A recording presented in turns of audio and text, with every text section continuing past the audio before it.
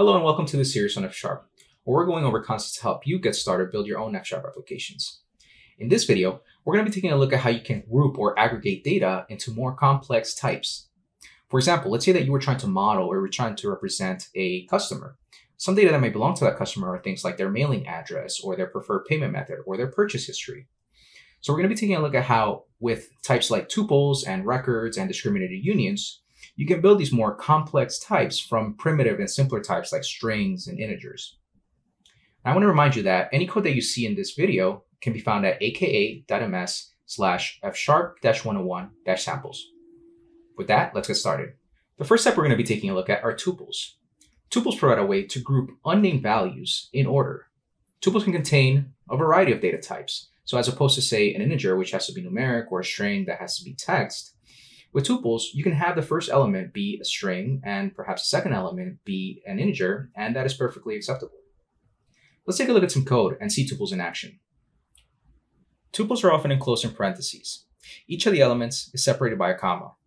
If you take a look at the type signature, you can see the data types of the individual elements separated by an asterisk.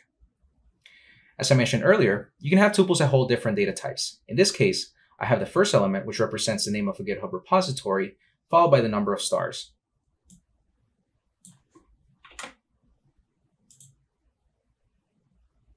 Because tuples are in order, you're able to extract the values using the FST and SND functions.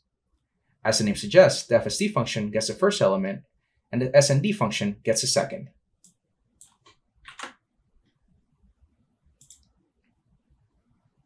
Another way to extract elements of a tuple is by binding them to values.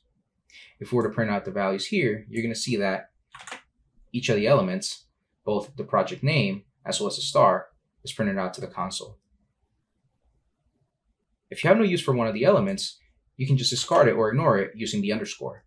Now, one thing that I like to call out is that in these examples, I'm working with pairs or tuples that only have two elements. However, you can have as many elements as you want inside of a tuple.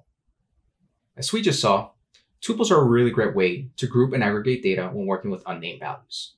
Now, because we're working with unnamed values, that means that sometimes trying to understand the context of what the data is referencing can become a little bit difficult, especially as your data grows.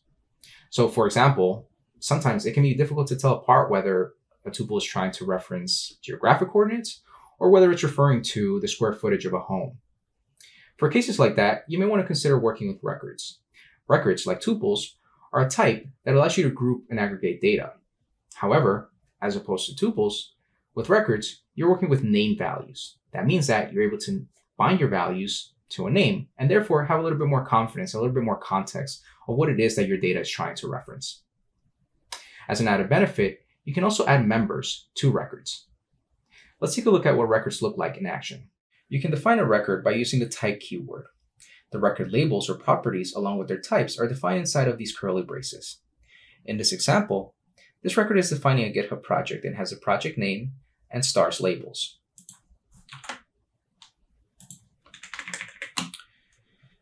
To create a record, you can do so by using a record expression. Record expressions are enclosed by curly braces and they bind values to record labels. Notice that without me explicitly saying that this is a GitHub project record, the compiler is at work, and using type inference, it's able to determine the correct type.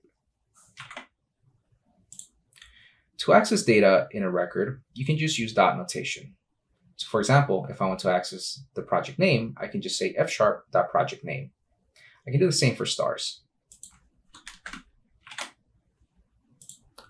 It's important to remember that data in F is immutable by default. Therefore, to update a record, you make a copy of the original and using the with key keyword, you update the desired labels with new data.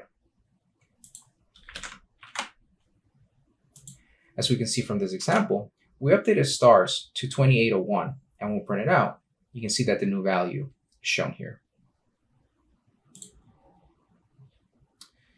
To work with members, use the member keyword after the record definition. In cases where you want to access data of a record label, you can use an identifier such as this. However, you're not restricted to it and you can use anything you want. As you can see from the get code owner example, since I don't need to access data in any of the labels, I can just use the underscore to make that clear that I'm not going to be using any of the records label data.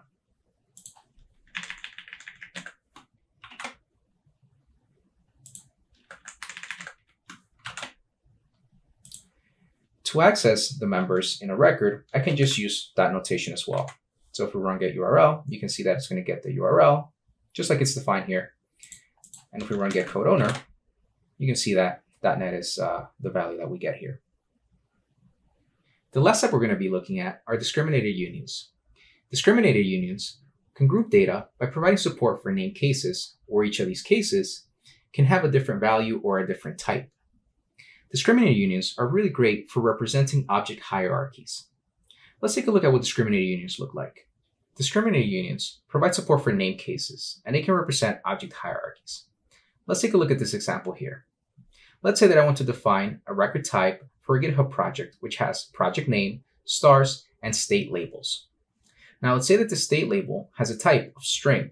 And what I mean by state is, is it archived? Is it active? What's the state of the project? Now, notice that when the type is string, any valid string will work as a value for state. Now, that's not always going to be accurate. So let's take a look at how discriminated unions can help us with that. To define a discriminated union, you can use a type keyword. Then, you can list each of the named cases prefixed by this vertical bar here.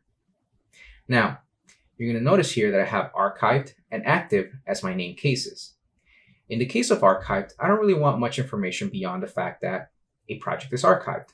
But if it's active, I like to know the maintainer's name. Now, in this case, I'm providing some type information and I'm using an anonymous record to define the type. Now, an anonymous record, as the name suggests, it's a record that is not defined by the type keyword. Now, one of the benefits is I can still define it and use it. However, I don't have to create another type inside of my application. Now, once I've defined my discriminated union, I can go ahead and use it. In this case, I'm going to create a record type called GitHub project, which again has that project name, stars, and state labels. But notice now that the state type is that discriminated union project state. Therefore, it can either be archived or it can be active. And if it's active, I'll provide that maintainer information. Let's take a look at how you can use discriminated unions.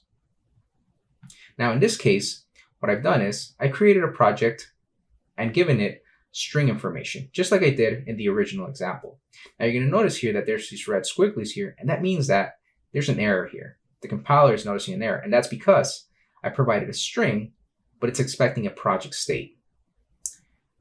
If we go ahead and run this here to define our types, and then we're to run this, you'll see that there's an error, and again, it tells us it's expecting a project state. On the other hand, if we go ahead and do this here on an archive project, you're going to see that it creates a record successfully. And then if we do this on an active project where we're saying that it's active and we're providing that type, that information about the maintainer, right? We're able to create that record successfully. Now, in this video, we're not really going to go into detail as to how you can use uh, these discriminated unions with pattern matching. However, in a later video, we're going to show how pattern matching paired with discriminated unions can be a powerful tool for handling behavior and handling cases within your application. In this video, we took a look at how you can use types like tuples, records, and discriminated unions to group and aggregate data to build more complex types. In the next video, we're going to take a look at how you can use classes and interfaces for object programming. See you then.